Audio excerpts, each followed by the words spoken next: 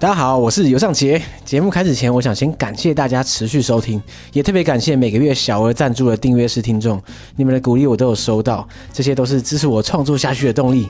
那喜欢节目的大家，可以到 Facebook 或是 Instagram 等社群平台搜寻“解锁地球”，追踪起来，时不时可以看到我们更新的最新动态、每集相关的照片，以及精心制作的直播还有影片内容等等，千万不要错过啦！感谢大家。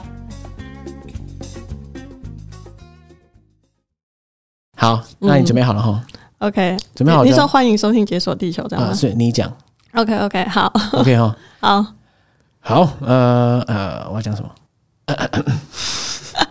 等我一下。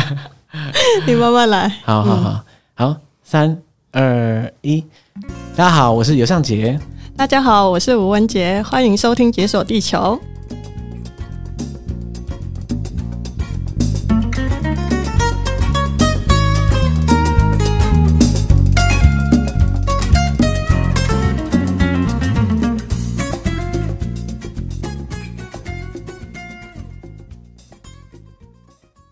我发现我们自我介绍有押韵呢。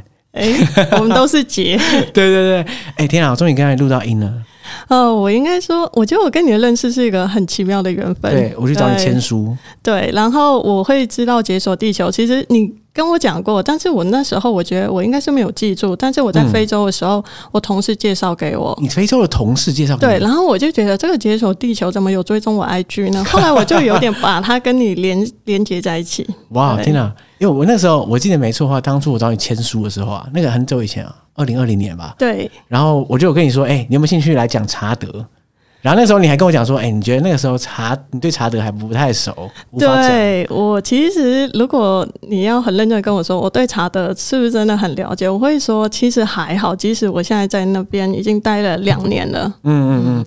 不过你在两年过程中，其实坦白说，我觉得也蛮其实蛮衰小，就是 刚好这两年完全覆盖在疫情之下、哎，对，应该说，我二零一九年的时候去查德嘛，然后有半年快乐的时光，之后二零二零年初疫情又爆发了，啊，然后二零二零年八月中我再回去查德的时候，我的生活就天翻地覆，完全不一样。嗯嗯嗯。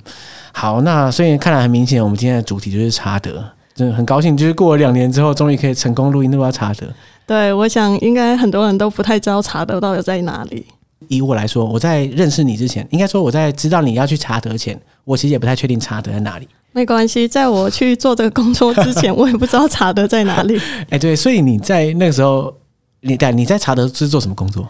我在查德，我是从事翻译的工作，就是我们公司是石油公司，然后查德，因为它以前是法国的殖民地，所以法文跟阿拉伯文是它官方语言。对，那我们公司是台湾人开公司嘛，嗯那我们就是需要法 会法文的人，那我就是法文系毕业的，所以当初就是我学长介绍我这个工作，就是说，哎、我们现在有职权，你要不要来应征？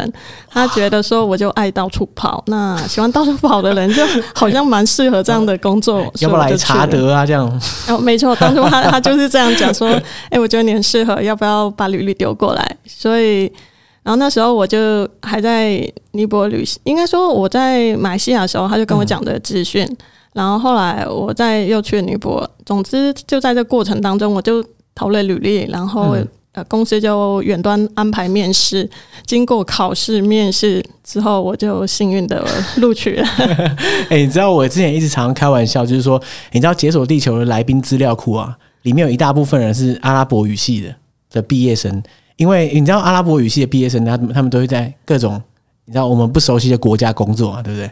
对一直到近期之后，我发现我来宾开始出现很多法语系的人，像阿拉伯阿拉伯学系的那个毕业生可以帮我 cover 那个西亚、北非这一块，然后法文系的可以帮我 cover 撒哈拉以南的非洲这一块。对，因为 其实呃，应该说法国，法国其实以前的殖民地也不少。嗯对对对。那像在非洲、西非跟中非，就是有蛮多法国殖民国家的。对嗯，那里就是法语会通的地方。我前阵子跟一些那个法语系的朋友聊一下这样。然后他们很多人也不是很多啦，应该说总是会有人毕业之后外派到西非啊或者其他国家这样。然后我跟他说，哎、我认识一个人，他之前在派下查德这样，然后他们都替你感到默哀、哎，为什么他？说查德很糟哎、其实他们觉得啦，因为查他们说查德好像治安很差，然后又没有娱乐，然后整个总之他们就不推就对了。那他他是去哪个国家？呃，我那时候认识的人，有人去塞内加尔，哦然后有人去布吉纳法索。我觉得查的比布吉纳法索哦，真的吗？应该说，呃，我我学长他们之前是派去布吉纳法索，那时候还有邦交，对然后所以他们是呃，就是帮台湾政府类似帮政府工作，然后派去布吉纳法索，但后来就是断交，他们也撤退了。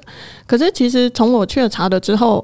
布吉纳法索发生政变、跟动乱、跟爆炸的机会 比查德多很多。然后去查德反而比较稳定。应该说，呃，查德他他在中西非里面，就是它是相对稳定的一个国家，当然它还是有很多动乱，但是呃，比较像是在边界，例如说在靠近北边查德湖那边，或者跟苏丹的交界，或者南部跟中非共和国的交界那边，就是恐怖分子会出现的地方。对，但其实它在首都恩加美纳或主要的大城市里面，其实它它是相对稳定的嗯，它的政权也是稳定很多。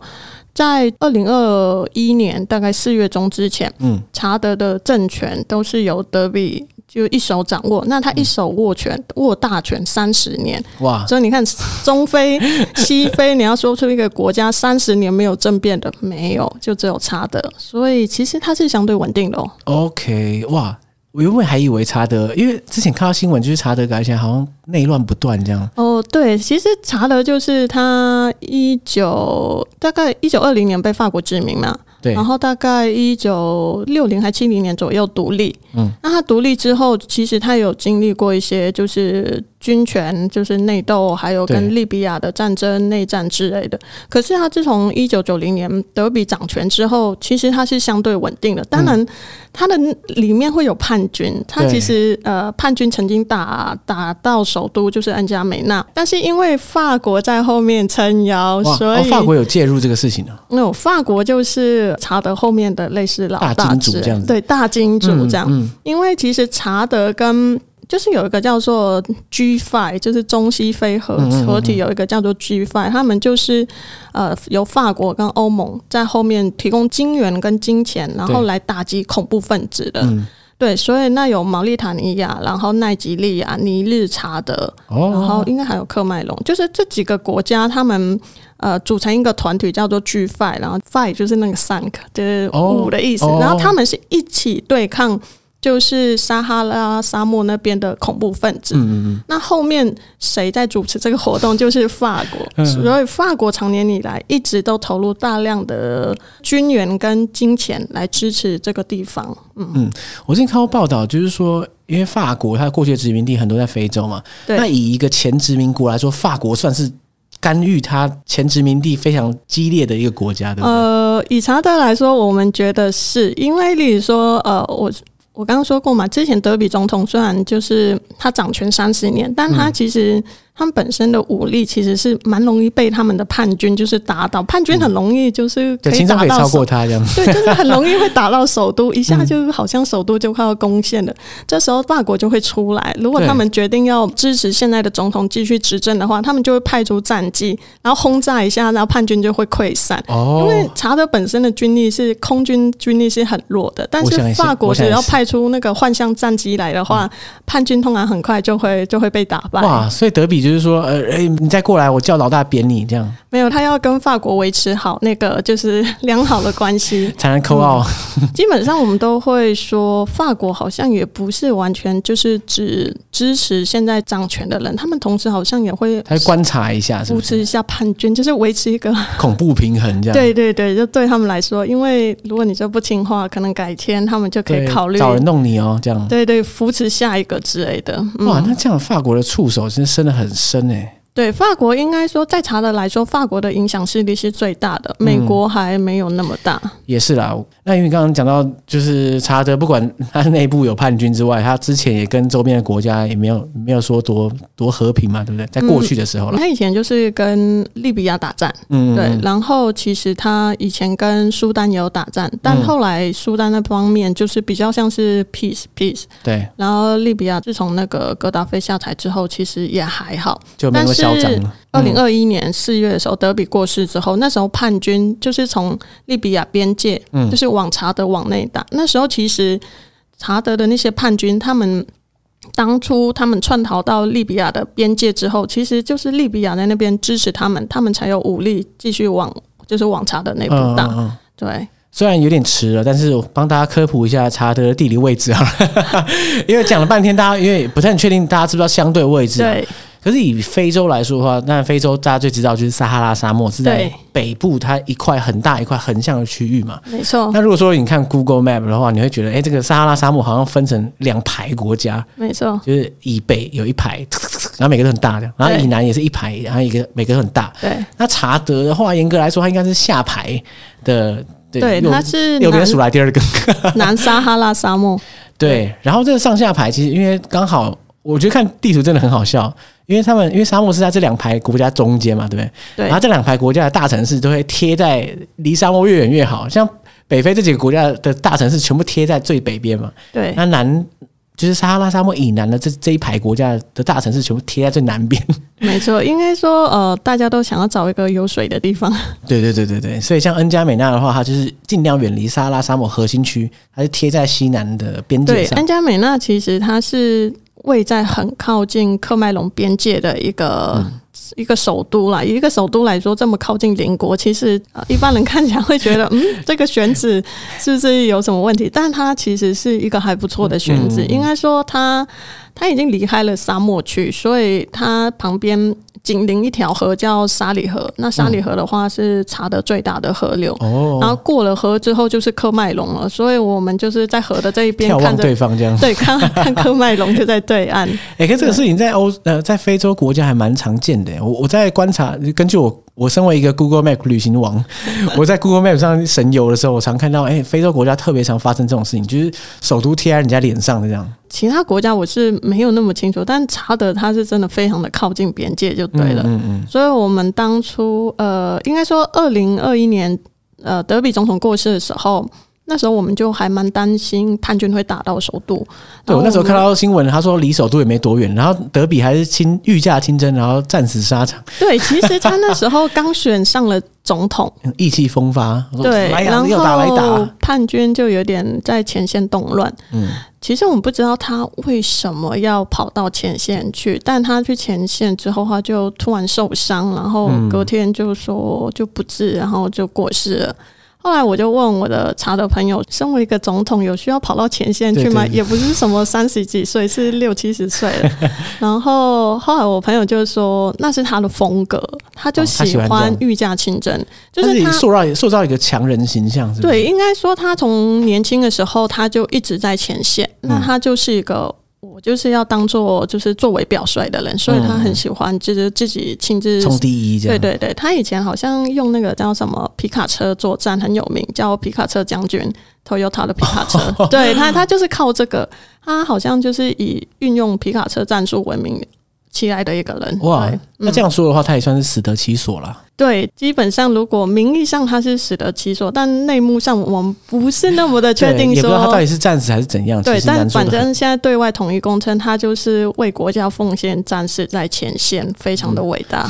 对，那你因为你之前是法文系嘛，对，那你在去查德前，因为你应该听过你的。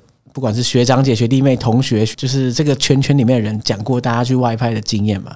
所以在过去，你对查德，你有听过大家去查德的时候的感想是什么，或者是你自己的认识是怎样？呃，老实说，我在去查德工作之前，我对查德真的一无所知。应该说，我知道我们系上就是有学姐跟学长去，对对，但。在那之前，我只是真的不知道查德这个国家，我对他了解不多。我是面试之前才赶快上网 Google 了一下，把维基百科背下来。对，面试的时候就有个面试官，他是我们的查德基同事，然后他他就问我说：“你对查德有什么认识？”那时候我就看了维基百科，我就说人类起源的地方最，他找到一个人类最早的头骨，哦然后我说嗯，我就认识这个，然后他就说了查德湖。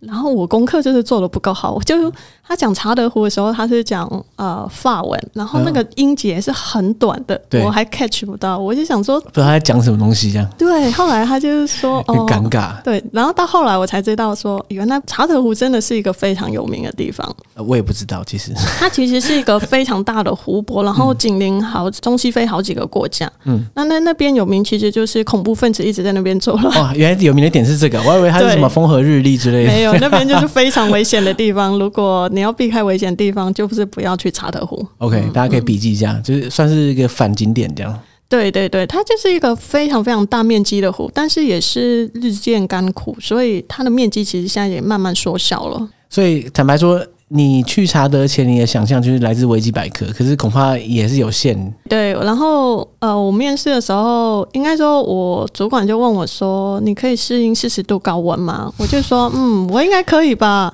然后他就去之前都可以啊。对对，去之前都可以。然后他就问我说：“你可以适应，就是你的活动范围有一些限制吗？你不能想去哪里就去哪里。”我就说：“嗯，没问题哦。哇，”然后太天真了。对对，应该说我去了之后，其实我发现，哎，其实比我想象的好，哦，真的可以，真的还好了。真的可以，真的可以。嗯嗯嗯嗯对，所以你就这样毅然决然去了，你不会觉得有点错错了吗？这样，因为但我我也知道很多人身边人去过非洲工作，这样。可是查德毕竟在非洲也是一个呃能见度比较低的。如果你说你去伊索比亚，我觉得大部分人也许是可以接受，然后或者说去稍微名气比较高的国家，比如说肯亚、啊、呃、坦桑尼亚等等。我觉得不管怎么说，至少你听过这个地方，然后他好像也就还好，你也听过有人会去观光。可是查德，我还真的没有听过有人去查德玩，或者去查德工作。嗯，我相信应该台湾人或者亚洲人比较不会想到要去查的观光跟嗯去工作的也都很少。可是我当初会去，就是因为我就是一个背包客嘛，然后我就常年就是很容易赚钱，就把钱花在旅行上。那时候我已经有点像是嗯，预算已经花光光了。我觉得我需要就是找一个工作，然后稳定的做个几年这样子。对对对，存一点老本这样。所以那时候尽管我对查德就是一无所知，也觉得这个国家嗯好像有点危险，但是因为那时候我已经有认识的人在那里了。所以我想说，那就相信他们吧。如果我我个人是认为说，像我是一个背包客嘛，我自己号称吃苦耐劳，对对对，假如我如果这样受不了的话，还算背包客吗？对，我就想说，我学姐跟学长都在那里了，没有道理，我就是没办法。如果他们可以接受，为什么我不行呢？所以，所以我就秉着这样的心态就就去了再说。对，而且至少认识人在那里啊，又不是一孤身一人，对而且其实是台湾公司，所以是有台湾人的，大家还可以互相照应一下。对对，其实我蛮多台湾同事，然后我去之前其实就幻想我去那里要吃茶的餐之类的茶的食物，结果我去到那边之后，每天都在吃中餐，每天都在吃中餐。哎，为什么？因为就台湾人公司，所以就提供台湾餐，就对了嗯。，一个是呃，我们大部分同事应该都有超过一半同事都是台湾人。另外一个是大家应该知道吧，非洲很多国家都有很多中国人，哦，所以如果我们想要吃中式料理，就是更倾向台湾的料理的话，就是你会找一个中国厨师，会比找一个台湾厨师容易很多很多。所以我们的厨师都是中国厨师。哦，那你最后到底有没有吃到茶德餐呢？有两年总是会吃到吧？应该严格来说，真正的茶德餐应该算一次。有一次就是我们决定、啊只有一次哦，。两年吃一次。应该说你在查德，如果你要在外面吃饭，不是去一般餐厅，我是去那种路边摊的话，你要冒很大的风险，呃 什么风险？就是你有可能肚子拉个三天 哦。三夜拉不完。哦，哎，这个风险哦，对，我可以想象哎，所以我们应该说，像我们公司旁边有一家骆驼肉，骆驼哦肉，，烤骆驼的骆驼肉是有名店哦，哎，我想吃哎，可以吃看看，就是还蛮 Q，但只要可以承受拉三天就可以。不一定会拉了。如果你找到品质好的，像我们公司就没有地址，应该没有一个明确的地址。我们每次跟别人讲说啊，我们在机场附近的时候，他们就是说啊哪里，我们就说骆驼肉店隔壁，他们就说哦，那我知道哦懂了懂了，这样。对，所以骆驼肉这真的还蛮有名的。然后那个骆驼肉就是算是 local 的食物，嗯，哦，那个我们会吃。我们呃心血来潮的时候会想要买一点回去吃，但我们的茶的同事他们中午午餐的时候，他们很常去隔壁吃。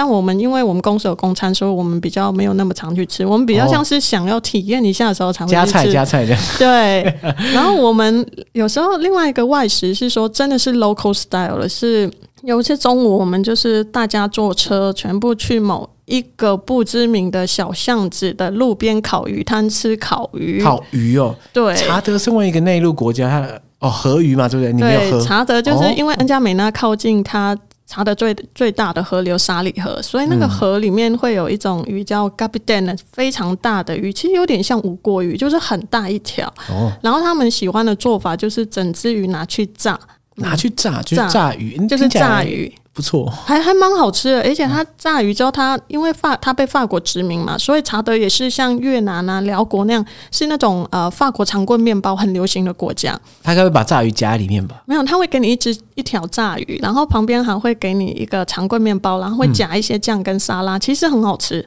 我光是想象这样应该是不会出什么错，因为鱼用炸的应该是酥酥脆脆，然后常规面包，都是大家熟悉的食物。你们都会觉得没有出什么错，但你看到很多苍蝇在旁边飞的时候，你心里就会觉得 哦，还是有点问题，这样嗯，你会担心啊。但是那个炸鱼，因为我们我们都是。应该我们真正想要会去吃的 local 的食物，都是我们当地的同事，我们公司当地同事，他们也喜欢、也推荐的，我们才会去。嗯嗯嗯，不然到处路边的是有点挑战的。应该说，由于那边医疗有限的关系，也不敢冒险，对不对？如果你撞个半死，你也不知道要去医院还是怎样。对，应该说你你想要吃，但是你承不承受得起那个风险的问题。哎、我刚刚忘了问你，我就蛮好奇，就是那骆驼肉吃起来是怎样？等下我先想象一下，我猜是有点像比较肥的牛肉吗？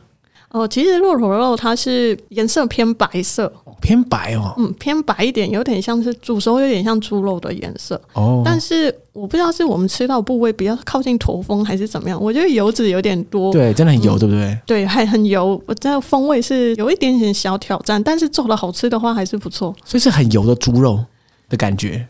啊、稍微多一点油脂的猪肉，但是比较硬的猪肉，嗯哦比较有嚼劲。可是猪肉已经本来就也算有点硬了。哦，骆驼肉更 Q 一点。哎、这好没关系，到时候有机会我自己来试试看。对，大概我是觉得大家有机会可以吃看看，还不错。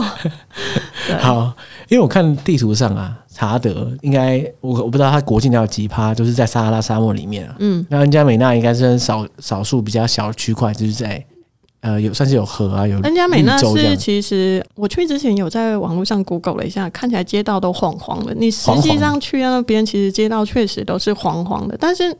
呃，其实恩加美纳种了蛮多树的，哦，嗯，所以还是可以看到树啊，然后还是可以看，呃，有有河嘛，所以就是很常看到河。但是那条河就是有好也有坏。如？果雨季的时候淹水是很可怕，是那个马路上的水就是会淹到你大概可能快要大腿、膝盖那边。大腿哦、对，然后你就会发现大家都把那个摩托车骑到那个分隔岛上面，然后我同事他们 泡水啊。他们回家之后，对他们每次雨季回家的时候，真的就是裤子要捞到大腿那边，然后有时候就说我今天迟到，不好意思，因为我家那边淹水。好像也不能怪他。还有他们那边的房子，就是可能有钱了才能盖那个砖盖的房子，不然当地人的房子是那种泥土盖的，对不对？土盖的，嗯对，然后那种水就很容易淹进去。而且土盖的不会，我一直想象就是它不会水淹淹就是整个瘫掉。蛮多应该都还是会的，但是嗯你看他们每年被淹一次，我相信他们也是有一点心的。对他们应该有方法可以面对这个。嗯，但是那个淹水确实就是每每年都会发生，就是每次雨季的时候，新闻上就会报道，然后你看到照片，也就是满就是整条街、整条大马路都是水。那我们自己去医院的时候。路过也是满满街都是水，这样。哇，听起来在那边的物质生活好像就是蛮恶劣的，呃，还是就这个刚刚好下雨才会这样，平常就还好。看你以什么标准来说啦。以我们台湾人的标准来说，那里的物当然不行，对啊。对对对，当然是不行。但是因为我们是住在查德，就是首都温加美纳，其实我我觉得那里的物质条件，以外派人士来说是还不错啦。那以当地人来说，还是要看你经济能力。嗯嗯我之前看别人去非洲国家外派啊，他们因为非洲国家它首都应该还蛮多这种外派区，所谓外派区就是很多外国人外派在这里，然后类似自成一个小社区那种感觉。我听别人讲的啦。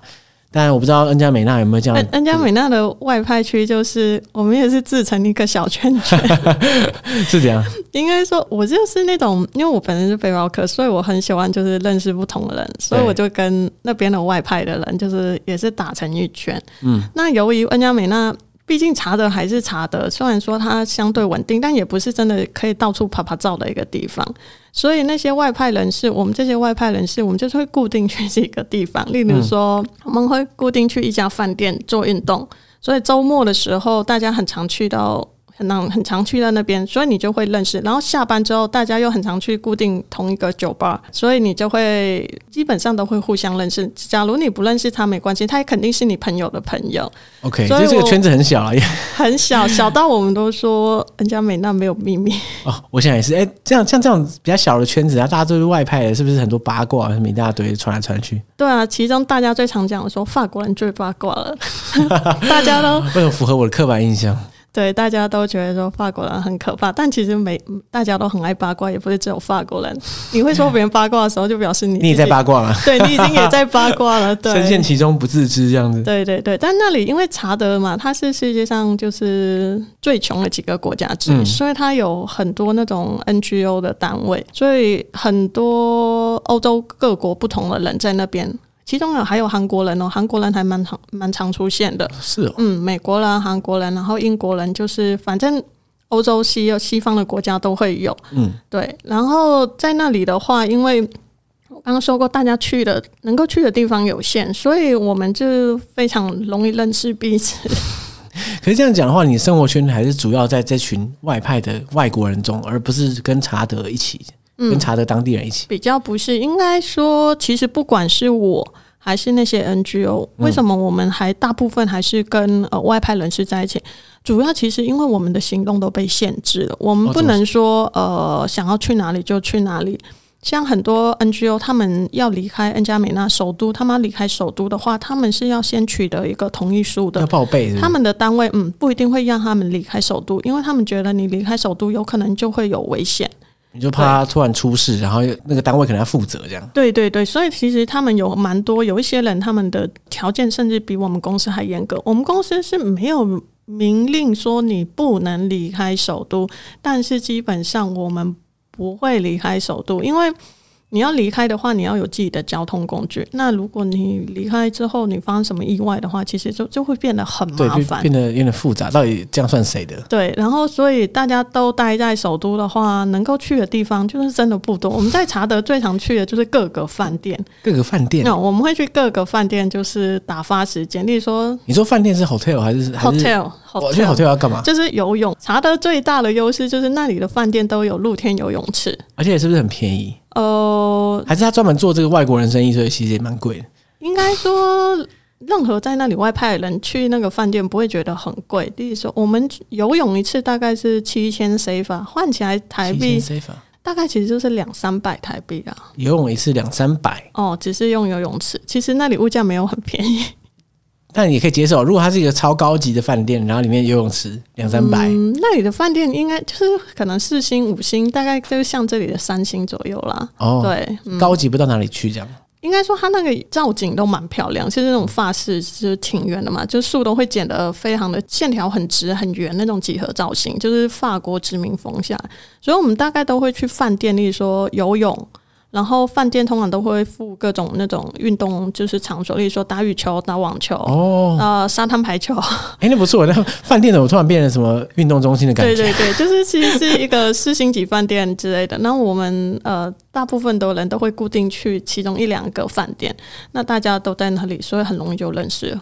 哦，哇！居然饭店有这种妙用，就你不是去那边住房，是用它的设施。呃，很多人应该说有部分的人会住在常住在那个饭店，但其他没有住在那个饭店的人也会固定到那里运动。嗯嗯嗯。那这样的话，等于说，因为这些这个娱乐是你们驻外人员的娱乐嘛，对不对？对。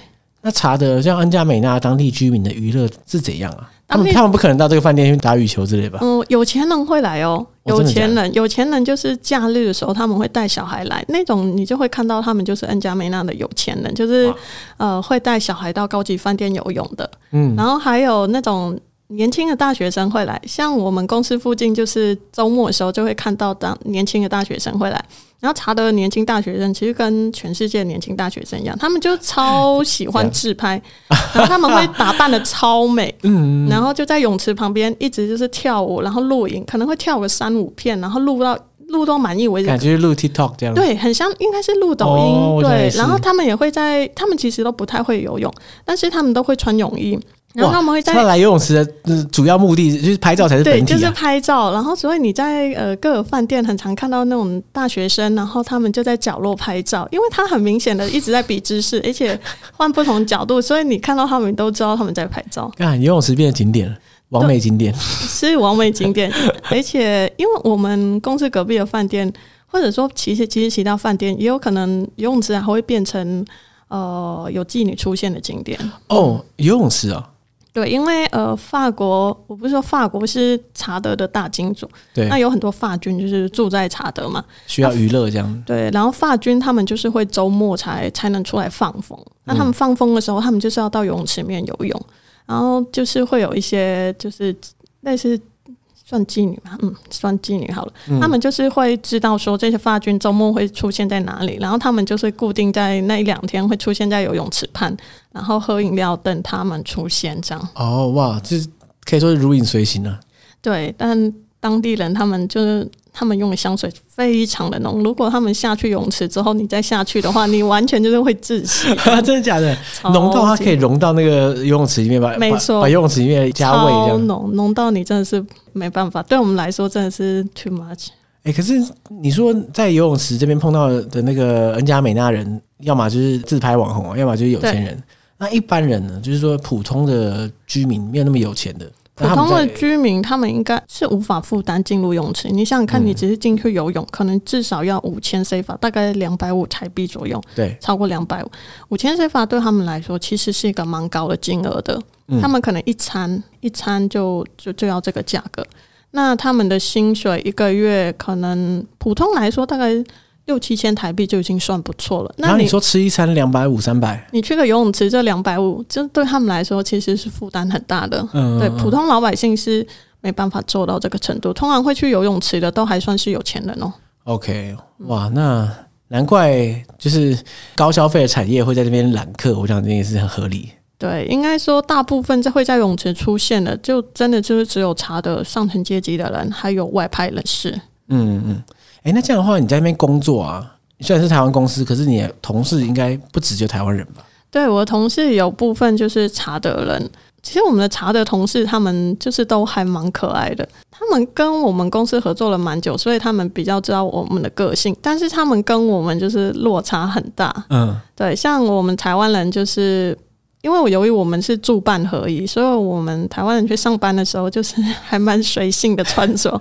但是茶的同事每天来就很像，应该说很像要去参加一个什么盛宴一样，他们都一定很认真的打扮，然后穿高跟鞋，然后会把家里可能最漂亮的衣服都穿来。每天上班都这样穿。每天上班，男生的话他就是一定会穿西装，西装打领带，然后皮鞋，对他们就是一定要。就是衬衫很笔挺这样，然后女生就是真的就是争奇斗艳，就相比之下，有时候我们都会觉得有点羞愧。你穿睡衣啊，别人旁边穿礼服这样。对对，大概就是这种感觉。他就是他觉得他们就是今天来选美的，然后我们今天就是刚睡觉起来这样。哇，我我不想要刻板印象，但是。我以为在查德就是大家穿着会比较随性一点，那就刚好其实相反。没有，其实你在查德的路上，你会发现大部分的查德人其实他们的穿着都是非常的正式的。哦，骑摩托车的人也会穿西装，这样。路人就穿西装骑摩托车，可能买菜之类的。对，就是他们的一个文化了。如果他们去上班或者他们去任何场合，他们就是都会很认真的打扮自己。像之前我一个法国朋友就跟我说啊。他是说，呃，不是法国人的那些外国人在查德，他们其实不太懂查德文化。就是说，他们去跟查德官员见面的时候，他们穿的太 casual。其实不对，你应该你要去跟查德政府或官员见面，你应该就是要尊重他们。那他们，你怎么样觉得尊重他们？你就是要穿的有派头去，他们才会觉得你是一个不得了的人物，所以他们才会对你认真讲话。那如果你穿 T 恤这样，对他们就会觉得你这个人不怎么样。然后，所以这是一个文化的差别。那查德人的话，我不知道这是不是来自法国，因为我印象中法国确实也西装笔挺，但我觉得在非洲，他们好像又把它做到更进一步，他们真的非常的隆重来上班。对，哎，这是蛮蛮出乎意料的哎。而且这样压力其实蛮大的，就是像我也很讨厌穿西装或是穿正装这样。那如果我去上班的时候，发现那边整排人全部穿西装礼服，这样我吓死。如果你一直都穿西装，你就不可能就不会这样。但他们就是真的是习惯，是一种习惯。然后查德同事哦，还有一件事情，他们在让我们非常惊讶，就是他们每天都换发型。那他们换发型不是因为。就说我今天梳一下不同发型，是因为他们就是非洲人的那个头发就是蛮短跟硬的 QQ 的这样，有点像就是贴头皮那种啊。对，有点像钢丝球贴，就是钢丝球的感觉。但这样怎么换发型？他们在换发型的话，他们就是有假发，他们每一个女生哦哦，就是每天换不同的假发。对他们每个女生都有很多挺假发，就假发对他们的女生来说是一个。必备的类似化妆品、时装配件、时装配件这样。如果你没有假发的话，当地人就跟我，他们就跟我说，你没有假发，你会有点类似受到歧视，就表示说你的经济能力真的很差，连假发都买不起，就可能别人觉得你很 low 这样。对，所以他们就是即使像我们公司，即使连清洁人员哦、洗衣服，他们都有很多假发。所以办公室的清洁人员的，只要是女性，她们一定就是会会戴假发，而且那个假发还要就是可能一两天换一次，或每天换一次。嗯，对，所以你常常说，哎，今天这个人短发，明天怎么突然长发飘逸，然后后天又变了一个大波浪。然后，嗯，对我一开始去的时候，我就是不知道，然后就吓一跳，想说，哎，他头发怎么长那么快？对，可是后来有一天我就。就是我们有个警卫，她是女生，然后有一天我就发现她在梳头，然后想说她在做什么？她是拿着一顶假发，大白天的，然后放在膝盖上面梳。我看到真的 蛮惊悚的，嗯，我真的是吓死了，我真的吓死了。他们就是像我们的清洁人员，他们在做那种。比较需要体力的工作的时候，他们会把假发拿下来。哦，对，然后他们就会呃，对，可能就会把原本的头包起来。但等他，然后就会穿着制服之类的，看起来就真的是在认真工作。可是等他们打扫完之后，他们就是下班前，他们就是会去换装。嗯，所以你就会发现完全不一样的人就出现了。意思说，就会穿的很美的裙子，然后假发，然后。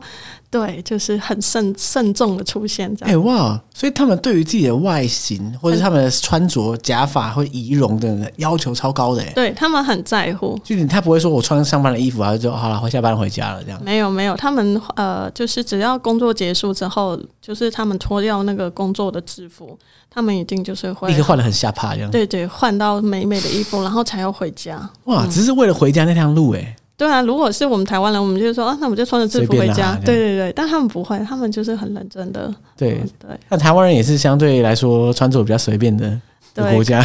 对，我最近有问朋友这一点，可是嗯，蛮多外国朋友他们来台湾之后，他们反而喜欢这一点呢，就不用那么麻烦嘛，对不对？你就随便穿就可以出门。嗯，觉得比较轻松。对对对，总总是比那个满街都是西装，然后只有你穿吊嘎那种感觉好多了。差不多，差不多。对，所以我在查的时候，时常会觉得有点羞愧。哎，其实我一直很羡慕那个，就是家里有很多假发的人呢。假设你看，假设我是光头，然后我家里有十顶假发，那等于说我真的是每天我看心情，我今天可以当金发，我明天可以红发，我可以要长就长，要短就短了，我可以是突然庞克头，还是这样。你不觉得这样很棒吗？就等于说发型，其实发型你每天都一样，实在是蛮麻烦的。可你又不可能说我每天真的梳要怎样不一样，那头发就这么短，不然要怎样？可是如果是当发型是一个时尚配件的时候，哇，那这这个这改变一切。对，那前提是你要有钱。哦，对，假发的那个差很多哎，因为最烂的假发真的很烂哎。对，像我之前有问过我就是法国朋友，就在查的法国朋友说，哎，你知道他们那假发从哪来？他就说非洲查的那些假发。大部分都是从印度来的。印度为什么是印度啊？后来我想想，觉得也是合理。想看我们印象中，印度女生的头发都很长又黑。哦，所以剪一段下来直接卖你。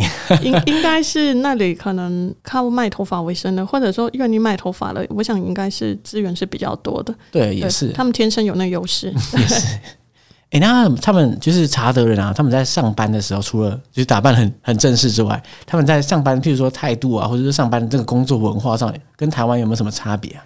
嗯，应该说，我查德人其实我不知道说是受法国影响还是怎么样，但他们确实跟我们台湾人不太一样。我们台湾人会，我们容易觉得不好意思，哦，就是随时随地的啊，sorry 这样，不好意对，我们也容易觉得怕给别人造成麻烦。嗯但是呃，我认识的茶的人不太会这样，他们想要什么，或他们喜欢，或他们不喜欢，嗯他们就会直接讲出来。除了直接讲出来之外，我觉得他们可能受到法国殖民的影响，他们很喜欢树枝感情，把一件事情说的更严重或夸张化。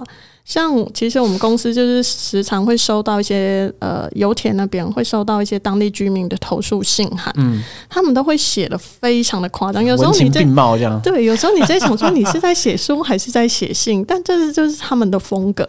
其实他写的就是不只要陈述这个客观事件，还要加入很多主观的感受，我要讲的哇，就把它包装的非常完整对他们，他们喜欢这样的风格。他们例如说，可能讲一件小事情，但是他们又会讲到说这件小事情影响我多大、啊，如果我不做这个，我会怎么样啊？对，但其实只是一件小事情，可是他们不会觉得说啊，这只是这样。那如果我们是台湾人，我们就觉得可能不好意思夸大或什么，嗯但他们是相反，他们是为了彰显那件事情的重要性，他们会把它放大。就搞得他精神受损啊什么之类的这样。对对对，所以对，真的是应该说是是我们还还蛮不习惯的一个一个地方。对，那你有你有听过什么例子比较夸张的吗？一说我们在我们会帮当地的。查德人盖水井，我们帮他盖水井，我们觉得我们在做善事；我们也会帮他们盖学校，我们也觉得我们在做善事。对，那我们觉得我们给你盖水井，给你盖学校，就是不是很好啦？嗯，但对他们来说，你做这个是应该的。哦，我为什么？呃，应该他会觉得说，我们去到他们的地方，我们用他们的土地，所以啊，我们是有钱的那一方。哦，有钱的那一方负责做点贡献，对，但我们觉得好，我们确实是在你们的土地上，就是说开发油田没错，但是我们也付了租金，我们也做了一切了，然后我们帮你盖水井，我们盖了学校给你，好结束了，我们就觉得我们这边的任务已经结束了。嗯，但是对他们来说呢，如果你盖水井给他之后，那个水井坏掉了，是谁的问题？算你们的问题，对不对是对？我们的问题。但我说哎、你那个售后服务不好啊，对，我们就会觉得说，哎、这水井我们已经完工交给你了，所以交给你之后就是你的责任了，嗯，那这是你的问题，对的对？那他们就觉得不是，这还是你的问题啊，这水井是你盖的啊，所以有问题你要来修。哦，就是呃，他们的思考逻辑是不太一样的。这某种程度上也是合理啦，因为因为其实你们有水井的知识啊，他可能没有，嗯，你可以这么说，但是态度上可能 对，应该是有有点不太一样的。嗯对，然后呃，像在这方面，如果他们觉得他需要我们去协助他们，他们不会像我们可能觉得说别人盖水井给我们，我们就已经觉得很感激了嘛，就嗯觉得说哇，那我要好好维护这个水井。但对他们来说，其实是是不太一样。反正别人帮我盖的啦，随便啦。对，像所以像还有一些东西，例如说他们的逻辑真的跟我们不太一样。例如说，我们呃，我们的油田在南部，然后其实我们也有聘用一些当地人，但是假如那个当地人不是在那州长油田附近聘用的，你是从别的县市聘用的，但其实同样都是查德人嘛，对他们就会觉得你做错了，啊，什么意思？他觉得你要回馈邻里，那你是要回馈我这里的邻里，而不是回馈别这么的邻里。严格哦？就是就是他们的逻辑真的是跟我们非常不一样。我们就觉得说，我们是回馈你整个国家，而不是只回馈你的某一个地方。嗯嗯，所以整体来说，我们还是回馈了嘛。可是对他们来说，其实是不一样的。哦，对，然后像在那边有台湾人跟中国人，对对，那我们的司机就会常跟我们说，他们会觉得台湾人对查德人比较有礼貌，然后中国人其实他们也不能说所有的中国人，但大部分的中国人会相对觉得查德人。或当地人会稍微低他们一点点，嗯所以对他们讲话就会比较没有那么客气。对，那我们台湾人对他们讲话就会，我们就是会比较客气。对，所以当地人他其实他们普遍来说都会比较喜欢台湾人。哦，对，哇，所以他们是有感受到这个差别。嗯，而且其实之前以前台湾有跟茶的建交嘛，对，那台湾就是有盖了很多的，应该说盖了桥，然后铺了道路等等。所以现在查德最有名的桥就叫台湾桥，哦，真的假的？还叫台湾桥吗？对，就在沙里河上，它其实是一条应该说恩加美纳最重要的一条桥梁之一。嗯嗯嗯后来中国有盖了一些桥，但就是战略地位等等都没有那条桥重要，所以台湾桥就是在查德非常的有名。台湾桥可以当去当打卡景点了。嗯，台湾桥就是是可以通往查德的南部，然后过了台湾桥，继续再往前开，没有很远就到克麦隆。哎、这不错哎、交通要冲这样，对，我只怕它被改名而已。我怕有一天去发现被改名成中国桥，还是变成中国台湾桥？不是中国桥还在盖，但好像盖到一半，目前就没进展。哦，可能盖要没钱了这样。对，因为其实查德的蛮多建案，应该说建筑都是中国出资，但是其实现在很多都是那叫什么盖到一半都停工的那种对，就是那种呃烂尾楼。烂尾建设这样子。对，差的有很多这种这种建筑。哎、可是这样讲起来的话，你刚刚讲到那个水井的事情，我就想到，我我常听到别人讲说，因为非洲或者说像查德这样比较开发程度比较低的国家，因为很多 NGO 也很多国际援助计划这样，对，所以当地人有时候久而久之会习惯接受国际援助，会变成说理所当然。然后你本来就帮我啊，你有钱嘛，你不是钱很多的这种感觉，那你在当地是不是也会有这种感受啊？我在当地的时候，应该说，呃，我接触到的查德人比较多的还是我的同事。那我同事他们，我觉得他们都跟我们工作很久，所以他们比较不会有这样的感觉。嗯，但是我相信，就是像我们油田南部的那些居民，他们比较像是接近这一种说，那你来这里，或者你就是要帮助我之类的。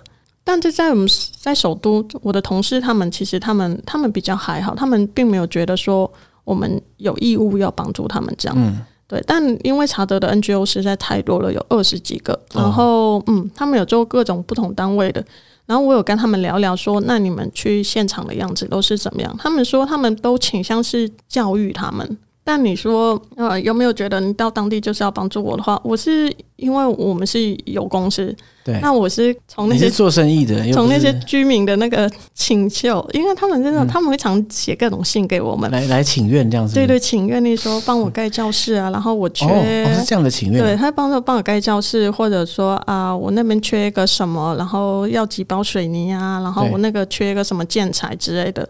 对，但他们从他们写的信来说，你就会发现说。哎，我们这个外来的公司去到那里，好像要变成，就是好像要扮演他们政府的角色，要盖学校，然后要提供电力，然后又盖水井，又铺道路。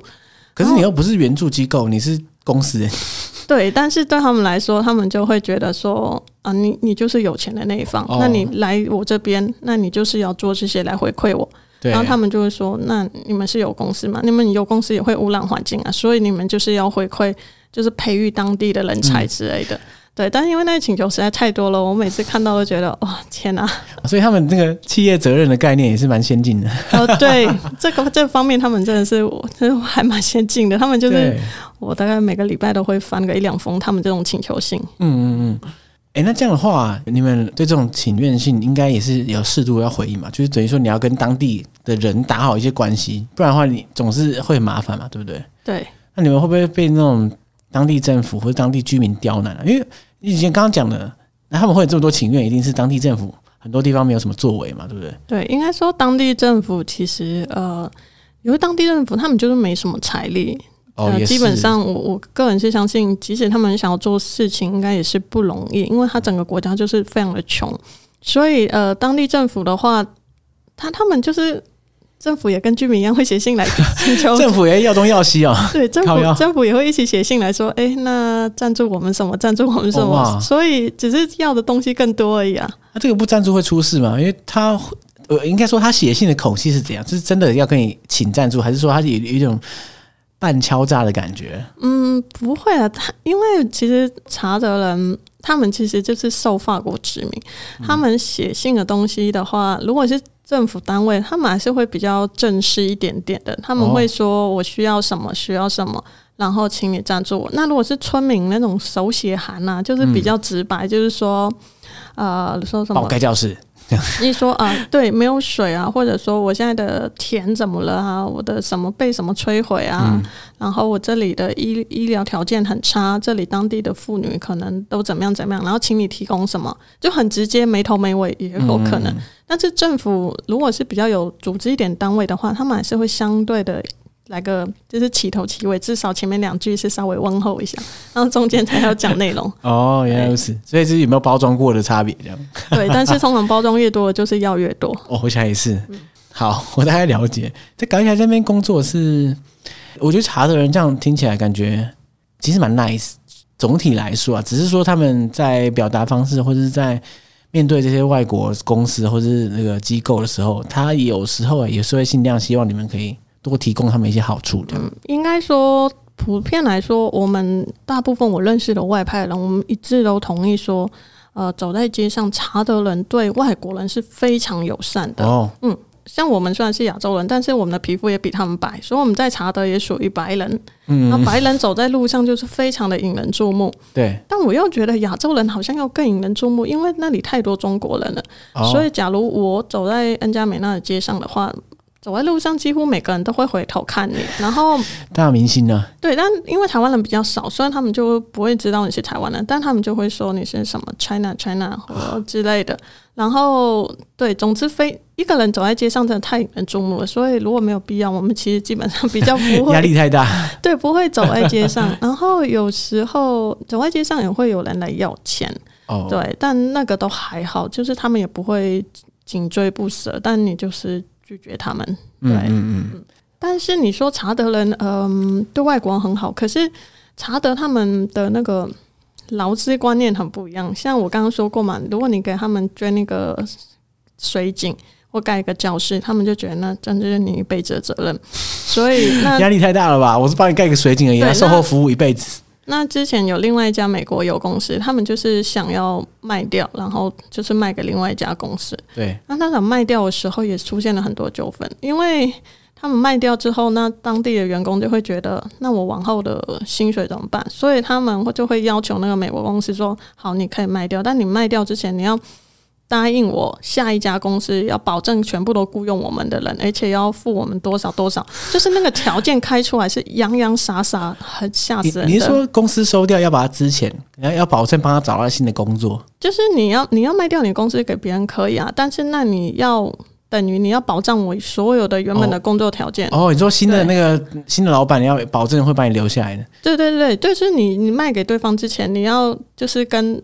跟对方取了个承诺或签一个协议书，说保证对方不会就是换掉这一批员工之类的，就是他们做了很激烈的各种举动之类的。而且他们也蛮就是会争取自己的权利的。他们会罢工，他们会罢工，受法国影响，他们会罢工。我好像讲起来，在查德真的是不能乱搞哎，他动不动就第一个要罢工，第二个就是说，哎，你你权利我要得到，你要给我啊，不然你要怎么弄？很惊人，很惊人。而且你在查德，基本上如果你是资方。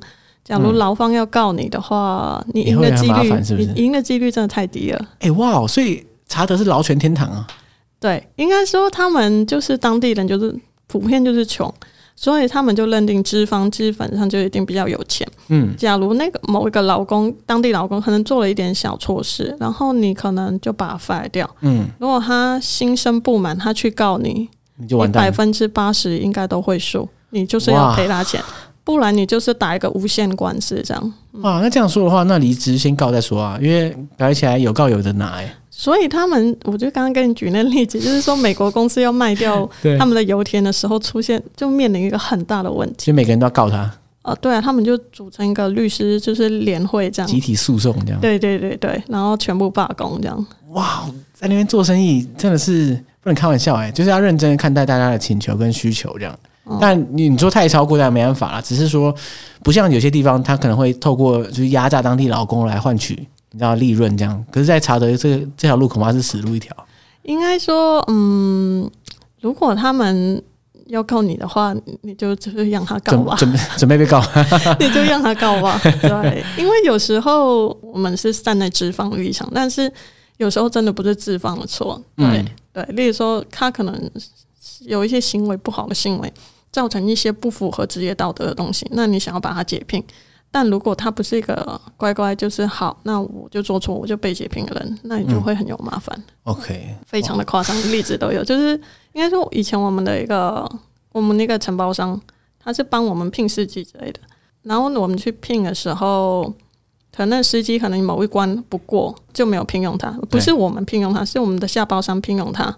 然后因为他某一关没有过，所以就没有被录取，这样他也可以告你。啊，你说面试没过告你？嗯，他可能其中某一一项检测没有过，嗯然后他这样你没有聘用他，他就觉得你歧视他，那你就 你你就会被告。啊，不是啊，那这样怎么裁判呢？面试就一定有人过，没人没过啊。那面试保证过，那我这样怎么？人家面试个屁、总之你要非常的小心在查的人，只要因为他们，我想可能应该是有点受法国殖民的遗风的影响，哇，很主张自己的权利，嗯 各种对权利，对。嗯所以其实查的那个劳动法是仿照法国的劳动法，嗯，辛苦辛苦。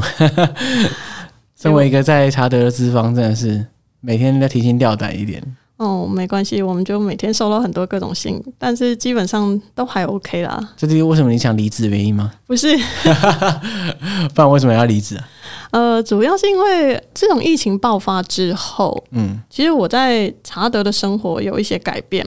嗯。应该说，由于疫情之前呢，我刚刚说过，我们在查德在安加美那有一个外派的小圈子，对，所以我的生活算是还蛮正常，有正常的社交生活。所以说，礼拜五我们可能就是运动结束或下班之后，我们就会去酒吧喝一杯，然后礼拜六可能就会去外面的面包店喝咖啡、吃早餐，也蛮惬意的，对不对？对对对然后，下午就去游泳，然后晚上又做运动，然后偶尔可能还有一个什么艺文活动之类的，听起来也都还蛮正常，就像是在世界各地方。可是自从疫情之后，疫情爆发之后呢，就是由于呃就会有一些限制，嗯那我的生活就就受到影响，就没办法随时外出，所以我曾经。在疫情期间，曾经有一年就是完全连大门都不能出一步，啊一年不能出大门。一年一步都大连大门都没有离开过，连去超市都没有。你说大门是指你公司的大门公，司的大门？那一年哇，隔那等于隔离一年呢、对我们隔离超过了一年，但我的话是整整一年。哇，那这不是啊？那这样的话，我不知道查德防疫这么极端啊。应该说不是查的防疫那么极端，是我们公司的政策是比较严格，因为比较谨慎。毕竟在查的，如果你就是染疫的话，你的医疗条件如果哦，就是没有像台湾这么好，，就是你可能真的会出事。就是不怕一万只怕万一。在站在这样的立场上的话，所以我们公司就会采取比较严谨的做法。可是搞到人家一年不能出门，这也太夸张吧？对，可是后来打了疫苗之后，就是我们的生活有比较恢复正常。嗯，那我会离开查德，就是其实主要的原因是因为我们公司的办公室它即将要搬去油田现场，就是搬去南部。哇，离开大城市啊。对，搬离开恩加美纳，那你知道恩加美纳已经是查的数一数二繁荣的地方。那我们搬去南部的话，我们的油田外面就是油田就就只有羊，就只有羊，对，可能只看到羊啊、牛啊，哇，这个可能马之类的吧。我觉嗯得应该我也不行。对，然后你在那里的话，因为油田是是生产的核心，所以那里的管控又会更严格。如果你去那边工作之后，你真的就是就是完全不能出大门，出大门也没有对，任何东西啊。出去要干嘛？因为外面就是油田跟羊而已啊。对，最最最近的城市也要一点五个小时，就是开车的话。我觉得真的不行。对，如果你要回到安加美那看你的朋友，你要开车要十几个小时。啊，这个他没有考量到人性呢、应该说，这是你要取舍吧，因为你去那里工作，你会去那里。假如你愿意去，那你去之前你就知道，你就愿意接受嘛。所以薪水比较高，就是你牺牲了一些东西。是你要钱，还是你要好的生活环境？就是你要有取舍了。哇，那对我来说，在那边工作两年之后，我的取舍就是说我想要过一点比较正常的生活。对对对，不是生活在油田这样子。对，但那个查的经历是还蛮不错的，我是觉得，嗯，大家有机会可以去一下。对，有经历过这段，我真的觉得蛮酷的。而且，哇，因为像你我们最开始讲的嘛，我从来没听过有人去查德旅行，所以我不太确定我们的听众有没有机会去查德玩。我、嗯我是抱持着怀疑的态度啦。但哎、说实在的，查德旅行到底有什么看点？应该有你有概念说，为什么一般人不会想要去查德，也不太能够去查德旅行？我刚刚忘了讲一点，是说在查德每一家餐厅、嗯，每一个公司门口都是有警卫持机关枪在门口。机关枪。对，所以我们每个车子要进入某一栋建筑前，都要检查有没有炸弹。呃，因为它是恐怖分子猖獗的关系，所以有这对。应该说它就是比较警备这样的一个嗯地方，真的不是太适合大家就是平时去观光了。但是其实，在欧洲还是会有部分的人去查德观光哦，嗯，因为查德它跟你刚刚说肯亚嘛，那坦桑尼亚跟那些国家比起来，查德它比较原始，对，然后它又有部分的观光化这样。对，它有部分的撒哈拉沙漠，所以会有一些豪华旅行团会组团去查德。就包车包保镖这样子。对他们就是会呃，就是会搭那种高级帐篷嘛，所以他们会经过安加美纳。接下来他们应该大部分都会去查的最有名的两个国家公园，一个叫做萨库玛，在呃查德的东南边，嗯，那个就是可以看到很多狮子，然后还可以看到很多长颈鹿，它是以长颈鹿出名的一个国家公园。哦，嗯，然后现在还引进了犀牛，他们原本就是的犀牛已经几乎都灭亡，他们就从南非引进犀牛。那那里的话，它跟你说你去跟肯亚跟去坦桑尼亚不一样的地方，就是那里就是真的比较少，比较没那么观光化。所以你看狮子的时候，狮子真的就在你脚边这样。哇，这样不危险吗？你坐在吉普车上还好，哦虽然它离你很近，对，但是但应该还可以啦。但是如果你没有在吉普车上哦，如果你是站在地上，你就很危险。但是狮子跟国家公园里面的动物，你在吉普车上，他们是很习惯，他们也比较不会觉得威胁。哦，他也不会管你啊。对，所以你坐吉普车，你在做沙发旅的时候，你可以很靠近动物，动物比较习惯吉普车的声音，他们不会逃走。嗯，但是如果你在做沙发旅的时候，你是用走路去做沙发旅的话，我跟你说，你在超远的地方，长长颈鹿就已经飞奔了，因为他们哦就感觉到你的气息跟你走路的移动，所以其实你要看动物，你还是坐吉普车吧。哇，就是看这个人好像跟平常移动的方式不太一样，让他们很紧张。对他们会很警觉，因为你像是吉普车，它就是有那个园区内，它会有个道路嘛，你都待在道路内。当然，我们的吉普车还是会开进去，就是不是道路的地方。对，可是他们很习惯，因为平时就会有人在巡逻。可是如果你走路的话，他们真的是非常的警觉。因为我那时候去萨库玛的时候，我去了四天三夜，然后我们就是有一段就是走路去看动物的，动物真的是看到我们就飞奔而走，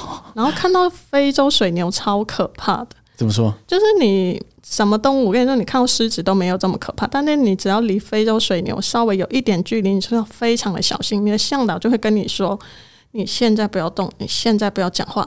就是你看到水牛的时候，你一定要等水牛觉得没有威胁，你才能从旁边经过或怎么样，不然水牛一攻过来直接，冲过来，对，你就这样完蛋了。水牛是一种非常危险，然后又敏感又容易受到刺激的动物。对 OK，比狮子危险很多，狮子都在旁边睡觉而已，看到你也不会怎么样。哇，怎么感觉起来就是连看有个动物也特别危险？因为我在其他我听其他来宾讲，在其他非洲国家、东部非洲国家，嗯，看动物的时候，我没有听过有这么恐怖的，就是就感觉起来好像那边，嗯，就是查德可能也没有那么观光化，就像刚刚讲的，所以那些动物还在看到人类的时候，也不是这么安稳，这样应该说，嗯，你在吉普车上都还好啦。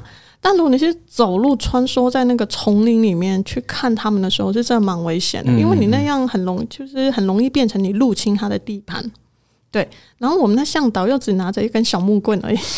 那小木棍到底可以干嘛？挡住水牛？嗯，他们会做一些可能咚咚咚，哦或者说会做一些姿势，对，然后像是想要吓跑他们。嗯嗯，像之前二零一九年我去尼泊尔的时候，国家公园的时候，那里是犀牛很有名，嗯，然后向导也是拿着一根竹棍。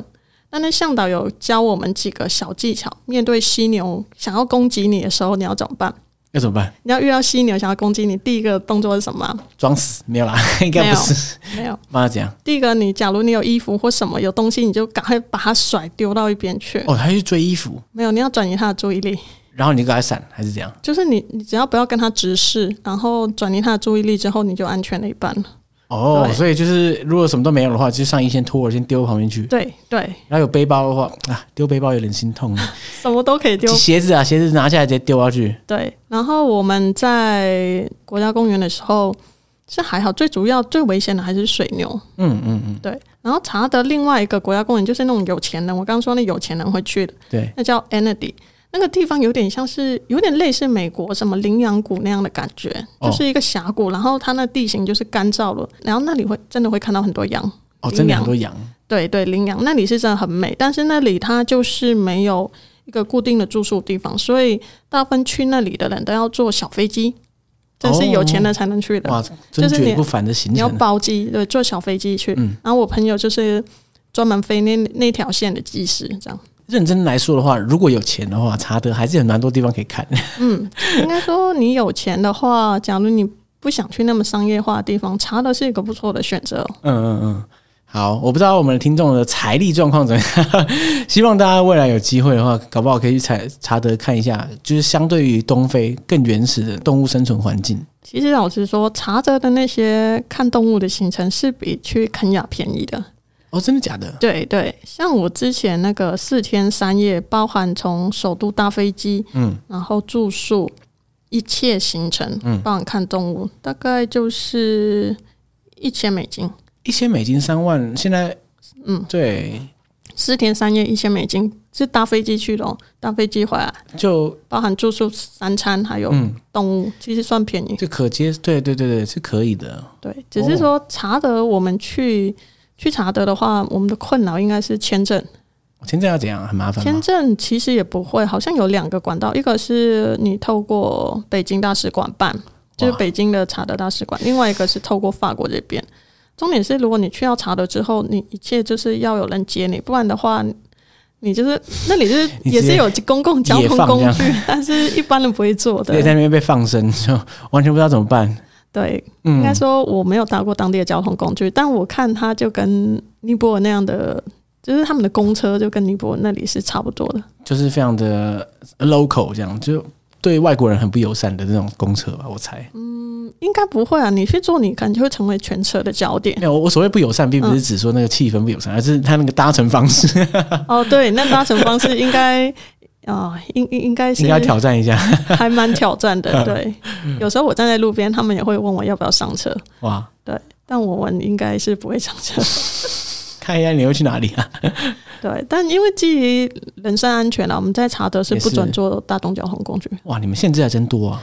拜托，每个地方都有人拿枪在门口哎、也是啦，而且他们查的，如果他们开心啊，他们婚礼啊，他们庆祝什么总统当选，就一直鸣枪，砰砰砰。哦哇，对你不知道他到一底嗨起来就开始 biang biang biang，对他们开心，新年也在那边砰砰砰。所以哇现在手一滑这样，对你我看吓死。对你根本不知道他那个枪到底是要开向你还是开向别人。总之，我们还是会相来对小心。对，嗯，合理而。且查到又是一个贪污还蛮严重的国家。有一次我在路上，我就是我不刚刚不是说安加美那有一条河叫沙里河嘛？对啊，那有一天我就走在外面，我就看到日落，就想说、啊，在河边看个夕阳多美，对不对？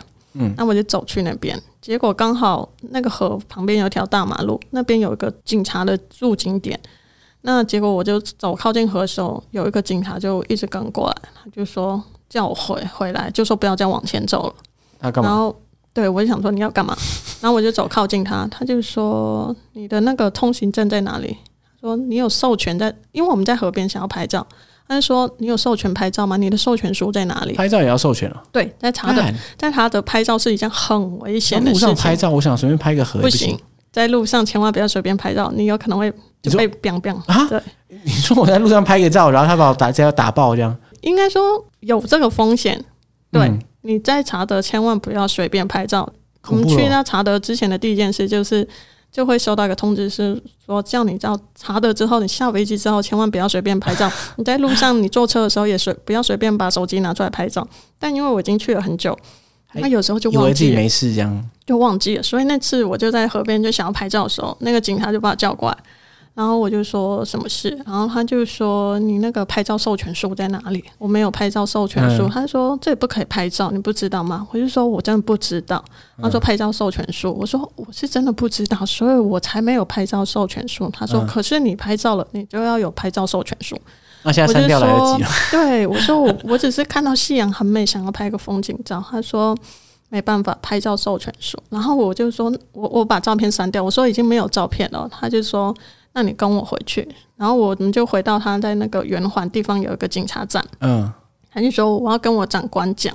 我就想说好，那你就讲啊。然后我就刚我就刚刚回去。结果我就发现他根本没有去找他长官啊，他就拿一张椅子就坐在我对面，然后就一直坐着。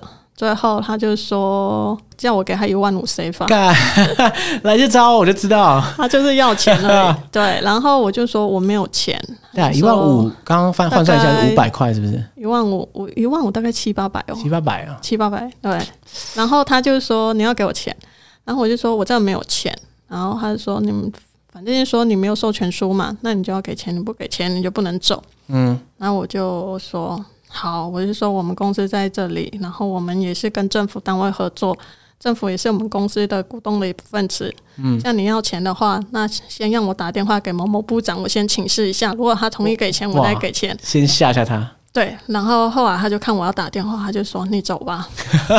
哎，你也很会呢，不愧是在查德待过。因为这种这，因为这不是第一次，有一次我们就是整车的人出去打疫苗。嗯，对，然后回来的时候，可能我们刚好车牌就是比较像是不是挂那种普通的牌子，是挂那种油田现场开的红色的牌子。嗯，然后就是交通警察就把我们拦下来，就上我们的车跟我们回办公室。嗯，然后就一副说要没收我们的车，把我们车开走之类的。结果到了最后，他只是要一个喝茶的小费，这样。哇，是为了为了一些小费，然后跟到这里来，对，跟我们回家，而且所以他就开口要一个金额，然后我们就给他。他后来就说：“可是我们有三个人，就说他有两个同事还在路边指指挥交通警察，所以他就要三个人的份。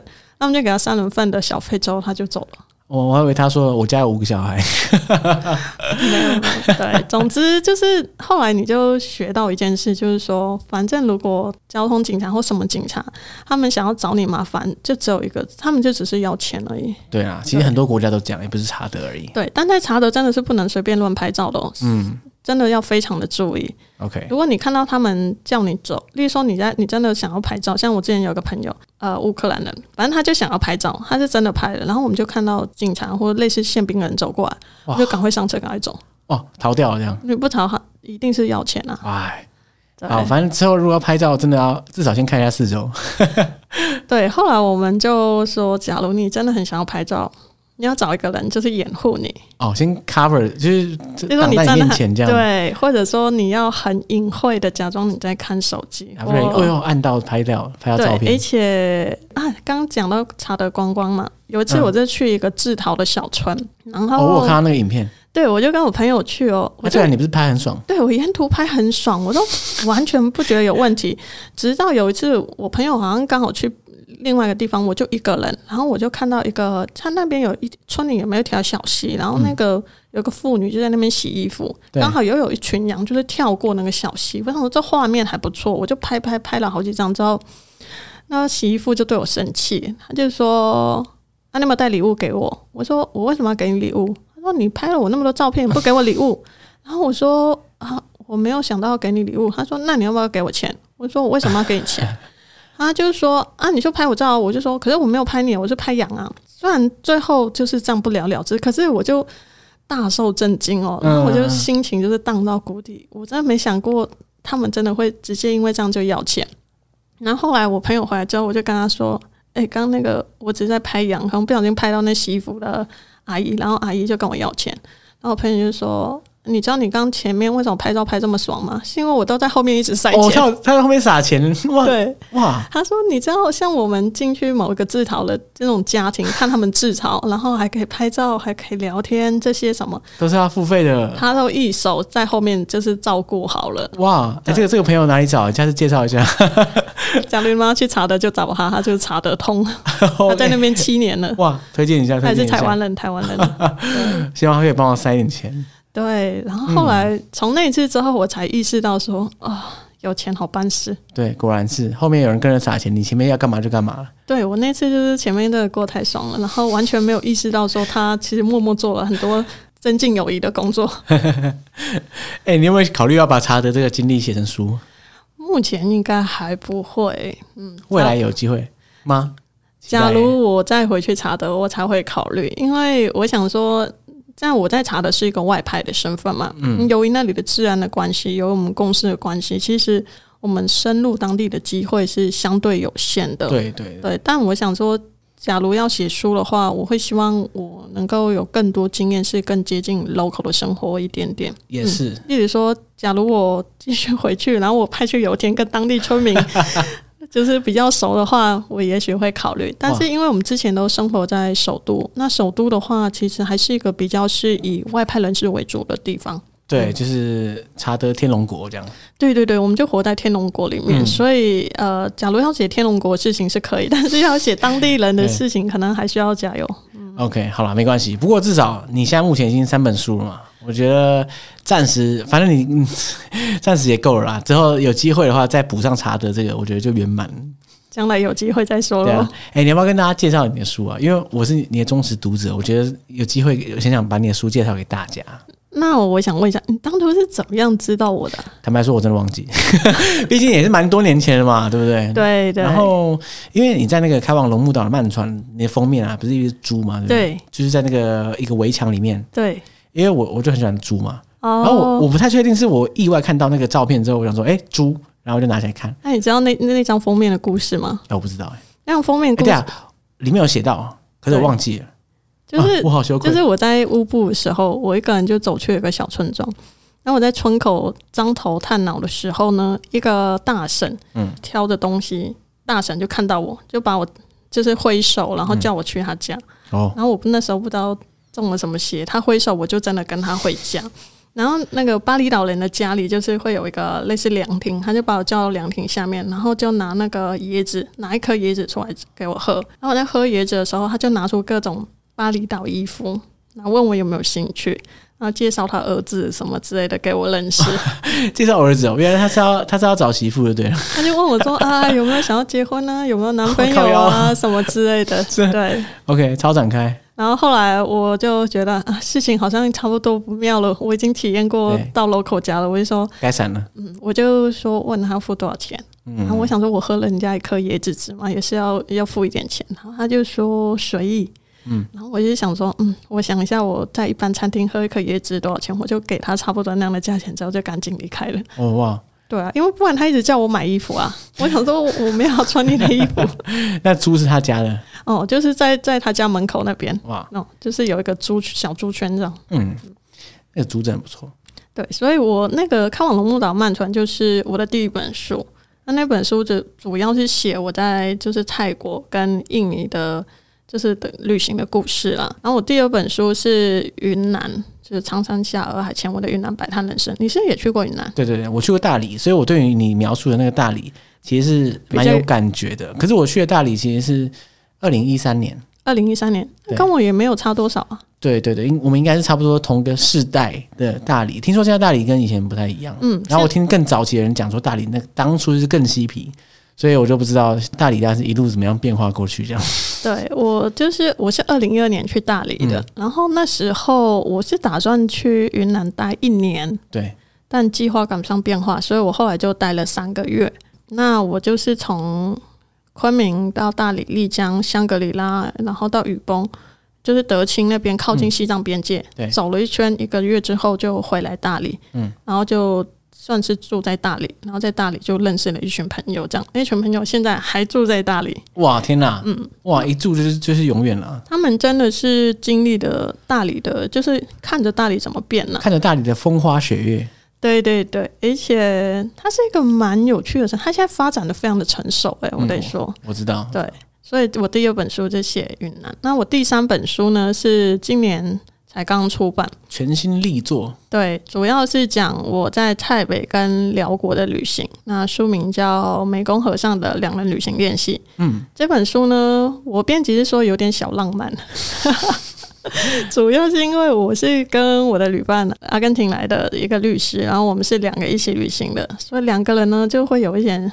浪漫的小故事，所以编辑就会觉得这是一个浪漫的书。嗯但对我来说，我觉得三本书的性质是差不多的。其实前两本也是有一点偶尔爱情有关的，对，一直都有小短篇，小短篇，，对，因为在旅行嘛，旅行的时候一定会有爱情的。